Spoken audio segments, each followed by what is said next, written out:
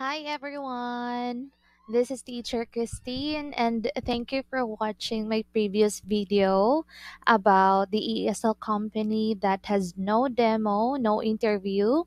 Okay, it's called On2. So right now, I'm going to share to you naman the other platform that I am currently in. It's called Adventure. Okay? Adventure is very popular to parents kasi usually yung mga nagbo-book dito is mga parents, okay? So yung mga parents na may mga kids, naghanap sila ng tutor for sabihin natin for English, Filipino reading, okay, at mathematics, iba't ibang subject. So, uh, hindi pa ka matagal sa adventure, but I can say that hindi siya toxic na company. Maganda siya actually and very smooth lang. Okay?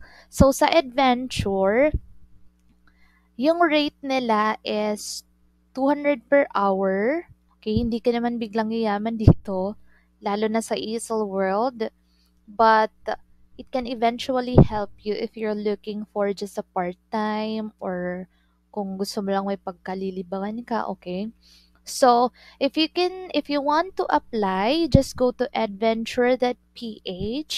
Okay, so makikita mo dyan, ayan, pindutin mo yung become a tutor, then nakalagay apply as a tutor. Okay, so it will lead here to sign up your email address and your password. Okay, so, um, hindi ko na masyadong pahabain yung explanation. So, I will just tour you since I'm already in adventure what is the actual uh, ano yung actual na itsura dun sa sa dashboard nila.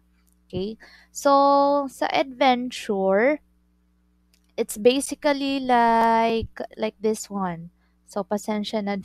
Okay? Nag-share screen lang ako. So, it's it's like this one, okay? So sa adventure, meron silang sinas meron sila actually during their interview, okay? By the way, if you want to apply sa adventure, as what I have told you, magsa-sign up ka lang doon. Then tatawag sila for phone interview. So hindi siya katulad sa mga ibang platforms that they will ask you like a lot of questions. Uh, how do you see yourself? No Okay, magtatanong lang sila sa mga personal questions and it also depends on the uh, interviewer. So they will ask you questions like your name, your experiences, okay? Ano ba yung mga ginawa mo for the past years, okay? So ano yung mga tinuturuan mo? So yun lang, may experience ka ba sa ESL? Yun lang, okay? Napakadali lang actually. And then, after nun, mag-email sila for onboarding. See, napakabilis, okay? So, after ng phone call, interview, phone call lang, onboarding na. ba? Diba? Okay? Ng onboarding, so, video siya, mag introduce lang, anong mga dapat gagawin, okay?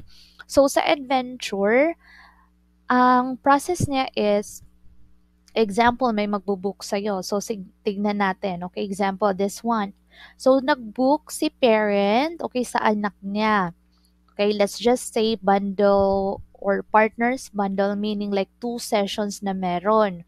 So, i-click mo lang siya, then lalabas kung like reading, Filipino. So, in my case, since I am an English teacher, English yung nilagay ko English but Filipino also reading kung ano yung kaya mo, okay?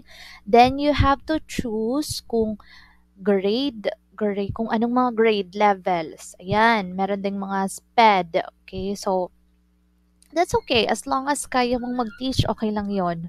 Okay? And then you also plot your schedule. Okay? Basically magpa-plot ka ng schedule ng kaya mo lang, okay? So, ang nangyayari sa Adventure, if may mag-book sa'yo, mag email si Adventure at mag-chat-chat sa'yo sa Messenger. Sasabihin na, yung booking code, example, yung booking code na to, okay, mamaya, naka-schedule, may class ka mamaya, ganun. Okay. Pag kinancel naman ni parent, mag inform rin sa'yo si Adventure. If you're also having a hard time, pwede kang mag-chat sa kanila sa Messenger. Okay? Uh, in my case, uh, I think they, uh, sa kanila kasi wala silang penalties. Wala silang penalties even if you're absent or nag-cancel ka. Yes, wala ata, okay? And then, but then, okay, pag si parent or si student hindi nag-appear, makaka-receive ka pa rin ng salary. Okay? So, para naman sa effort mo. Pag kinancel niya or hindi siya nag-appear during the class, may marireceive ka pa rin. So, half yon O, di ba, bongga? Okay? Kasi sa iba, kahit absent, okay, hindi ka nababayaran. Pero sa kanila talaga, maganda. Okay? Hindi naman siya kalakihan yung salary, but it will help you. Okay? So, ayun nga. Sa mga students naman, for me lang, since part-time lang naman siya, hindi siya ganun ka karami agad kasi marami ring teachers but they are target targeting in future na mas marami pang teachers, okay? So, sa Okay, pag mag-apply ka, ilalagay mo lang sa profile management yung lahat ng details mo.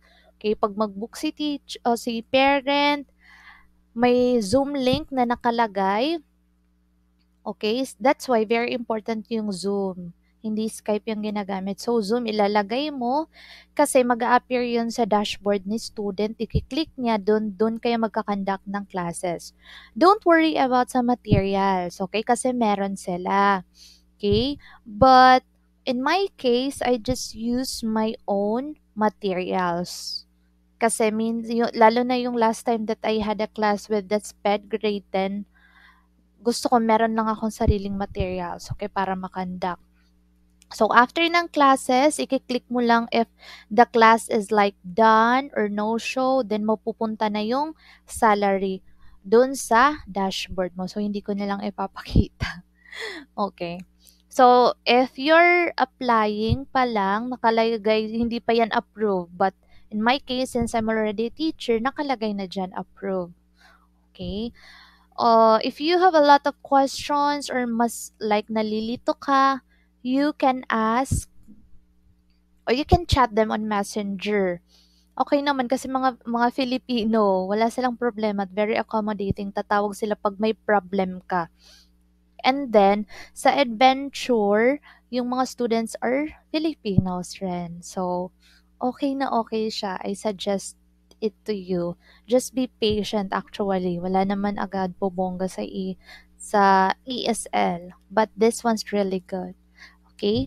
So, thank you so much, teachers. Yun lang naman, okay? Walang masyadong, walang masyadong kailangan pang pahabain na explanation. It's just direct to the point. So if you have questions, don't hesitate to ask me in the comment box. I will answer all your questions.